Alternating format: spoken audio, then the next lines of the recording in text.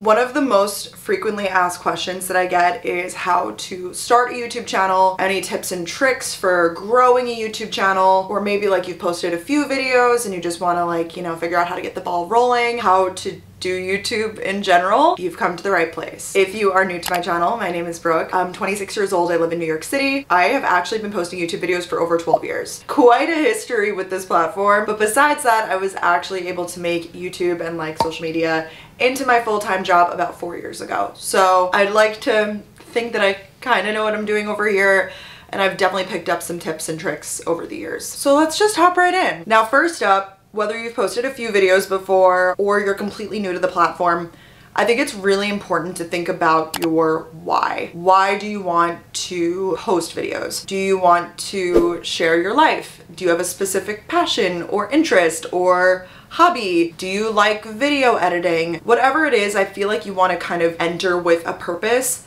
I feel like in this day and age, we see a lot of success on social media and you see money and fame and kind of like the glamorous parts of it all. I like to say that like success on YouTube or social media in general is like an iceberg. And we only see that top of the iceberg that's floating sort of over the ice you don't see the 98% of people that are sort of like below the ice, putting in the work every single week, uploading consistently, been doing it for years, that kind of like are just in it. But we see those people that, you know, maybe they posted a few videos and they went viral and kind of like shot up to success overnight. I was able to make this into my full-time job after many, many years of doing it. It is completely possible and in most cases on a shorter time frame than me. However, I feel that if making money is your immediate goal and you don't have any other reason for doing it, you will burn out pretty quickly. Honestly, for me, I love to talk. Ever since I was younger and I started making videos, I just would hit record and just friggin' yap away. I am pretty outgoing. I just always felt like I had something to say and to share. I love sharing my life. Now, the fact that I get to essentially get paid to do it is amazing. You know, maybe you've been watching YouTube for many years and you're like, oh, this is so fun. It's so like, you know, it's a safe space for me. I want to contribute to this pocket uh, of the platform. The reason could be whatever the heck you want it to be. I just feel like you can't go into it immediately like, okay, I'm starting YouTube. I want to make money. It takes a minute. So we have to have some patience here. And I'm the least patient person ever. So keep that in mind. so once you kind of have your your why, your your reason behind this all, we can go on into the equipment of it all. Another frequently asked question that I always get is what do I film with? What do I edit with? How do I make my thumbnails? So I'm going to break it all down for you now. No gatekeeping for general just advice here, I think you should start with whatever you have. If you're like, I want to start a YouTube channel, I would not go out and like buy a bunch of equipment and like do this all. I know for me with hobbies, I've done this before.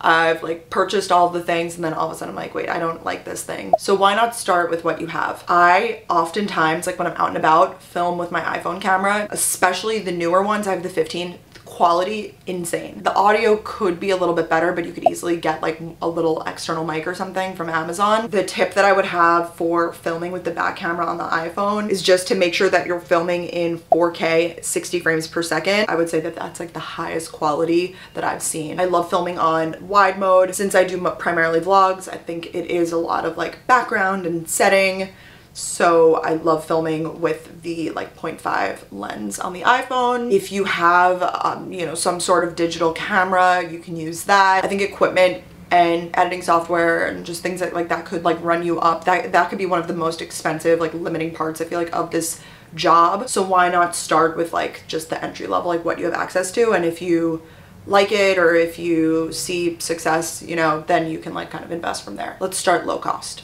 That's just my advice. Now in terms of like equipment, what I use, I can link my entire setup below. It is nothing crazy or complicated, but it's what works for me. I primarily do vlogs, so I like to have a camera that has sort of every function in one. Since I'm like filming my face, but I'm also filming like, you know, images of like what I'm doing if I'm out and about in like a city or traveling, I don't need too crazy of like a background blur or anything. I have the Canon M6 Mark II. That's what I'm filming with right now. And I'm filming with like a wide lens. This is an 11 to 22 mm lens. So we get a little bit of like a wider shot like you can see, you know, my whole room pretty much from here, even though I'm like pretty close to the camera right now. I like this for vlogging because if I'm like reaching my arm out, you know, vlogging like this, you can see a good amount of the background. I think the quality is pretty good. The camera itself is super easy to work with. I also have an external mic on my camera.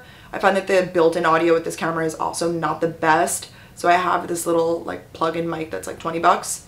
I will also link that down below with my setup so I can give you like the full setup. It's just the camera, the wide lens, and then the little mic thingy. If you're a vlogger, I think this is an excellent setup, but at the same time, I think that there are other vlog cameras that maybe have kind of like an all-in-one build-in so you don't need to get all these extra parts. Rarely I will use my Canon G7X this this one has been been through it okay like the lens cover doesn't really work anymore this is what I used to use for all of my videos though, up until like maybe three years ago. A lot of people have been taking photos with this these days. It does take fantastic photos. You can go on my Instagram to see some of those. This is a really good, just kind of like all-in-one video camera. I didn't use a mic with this. I would just like literally set it up. It has like a flip up little screen and you can kind of prop it up. This one makes you look pretty good. It is small and compact enough that you can kind of like put it in your purse or whatever. My current setup is a little bit bigger, so I usually need to bring like a bigger purse or like a tote bag. So something to keep in mind.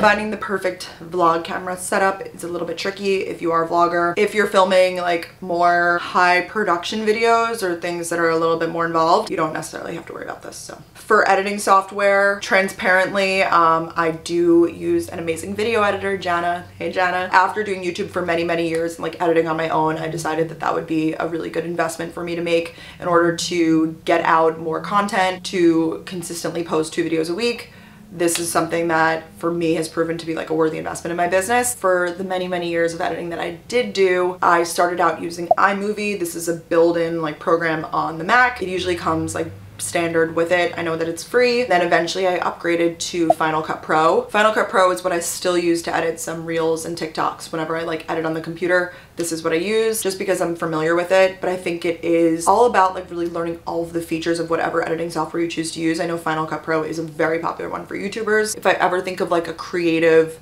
transition or effect or something, I just type into YouTube like how to do blank blank blank on Final Cut Pro. But once again, I would say start with what you have. I wouldn't go crazy and like invest in like a super expensive editing software if you don't even know that you're like gonna want to stick around with YouTube. Now for the type of content that you're gonna put out there. So you've already, you know, you're like, I'm in, I'm passionate, I've got my equipment, I'm ready to start. What type of content are you gonna make? The common advice that I hear is to niche down, to find your niche, find whatever it is that, you know, you're specifically interested in and do that. If it's makeup, do makeup. If it's, you know, fast food reviews, do fast food reviews. You know, home decor, do home decor. I'm gonna tell you to do the opposite.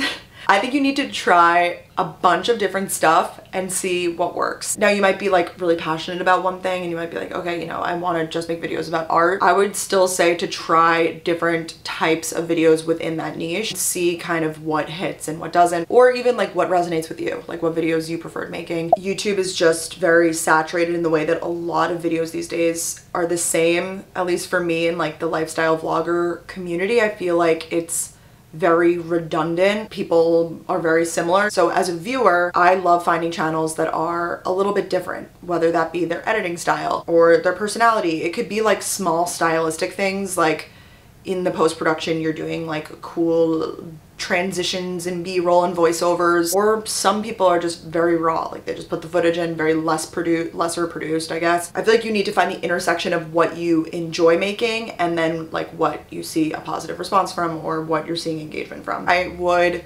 encourage trying lots of different things. At least for me i know how my vlogs are going to perform typically.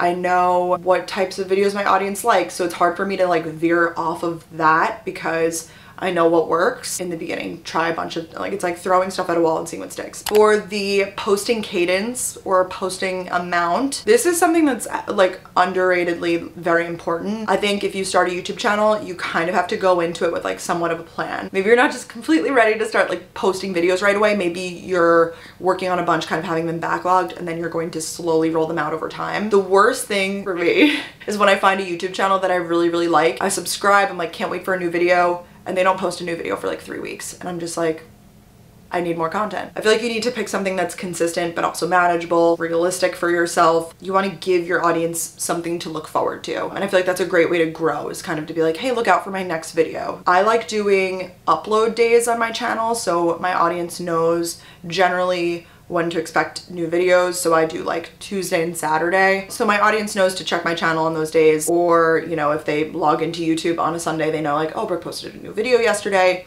I think it kind of like trains them to expect that. And I've had those same days for like many, many years now. And I feel like it's helped a lot. I think if you could do once a week, that's great. If you want to do every other week, that's great just pick something that's realistic for you. And obviously it depends how involved the video is. Like I said, for me now I have some help. I have a video editor. Twice a week is very reasonable for me. There tends to be a lot of perfectionism with people coming into YouTube. They'll say like, oh, I can't post this video yet. It's not perfect. I'm still working on it. I think you kind of need to drop the expectations a little bit and be a little less self-critical because I think it's more important to get out content than to sit and stir and be so involved with like every little detail. You gotta let go sometimes. Next, we're gonna talk about the packaging of your video. Yeah, so like the gift wrap. But when you open a gift, it just is gorgeous. The wrapping paper is like embossed. It has like a beautiful bow. You're excited to open up that package. Same analogy here with YouTube videos. Your video could be amazing, but if the thumbnail title isn't telling that story, it's not gonna hit. I feel like this especially matters in the beginning when you're trying to grow your channel,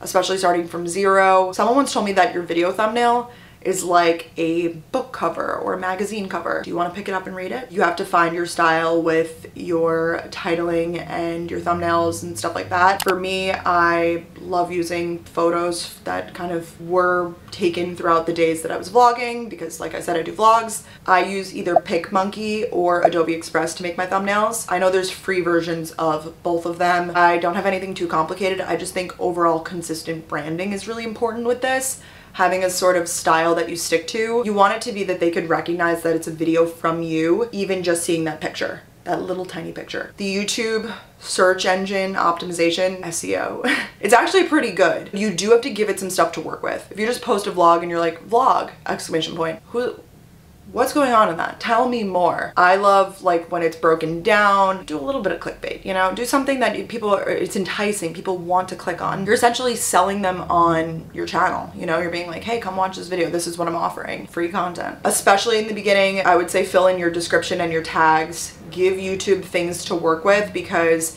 it's trying to pull as much data as it possibly can to like feed back into the algorithm, but you do have to give it something to work with. If you just say vlog, that's like the most general term. We also have to talk about cross promotion. If you already have an audience somewhere else, like let's just say you want to start YouTube, but like you already have a following on TikTok or Instagram, capitalize on that audience that you already have because growing an audience on any platform is a challenge. A tactic that I like is maybe posting half of the video somewhere else. So post half of the video on your TikTok and then say go to YouTube to watch the other half. It's actually harder than it sounds. I feel like I know a lot of people who have a huge following on TikTok and really struggle getting those people to convert to YouTube, but do the best with what you can in terms of like trying to be like, hey, come with me. And also the opposite, while I love YouTube so, so much, and it always has a special place in my heart, I think it's important to have followers um, on the other platforms as well. So I would always try to encourage your followers watching your videos to, you know, join along with you on other platforms too. I always try to say that. I'm like, I always post Instagram stories. You guys can go check them out on there. Or like, oh, and I, I posted a TikTok about that. You can go see that on TikTok. But I try not to post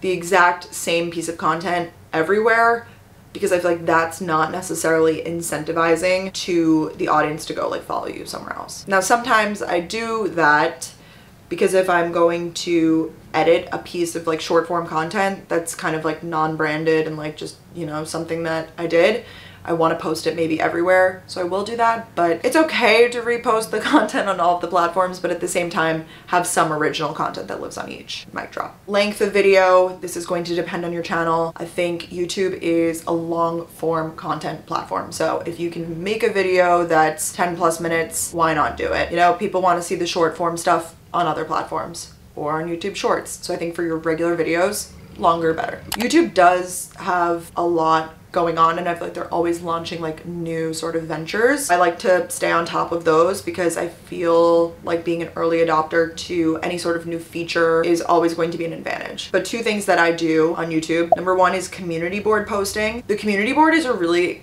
cool place actually. It's more of like a Twitter almost. You can do like text blurbs, you could share like photos and I guess you could share videos there too. You can create polls, so it's a really great way to survey your audience and just a really great way to directly engage with them and kind of get feedback. I've posted here like kind of thinking about new content or asking what type of content people prefer or kind of getting out a message. And another feature that I think is great here on YouTube is shorts. At first I was like, oh, not another, not another TikTok or Reels. But honestly, it's here so we might as well be using it. Now this is where I will repost. I will repost things that I do on TikTok or Reels because I do think that Shorts is helping a lot of creators grow their channel right now because when someone is watching a YouTube short and they click follow, that follow is a subscribe. If you already have great short form content, I think just post it on your page, you know, just kind of ads. I find that these gain views over time. So while I might post a short and it will like flop in the short term,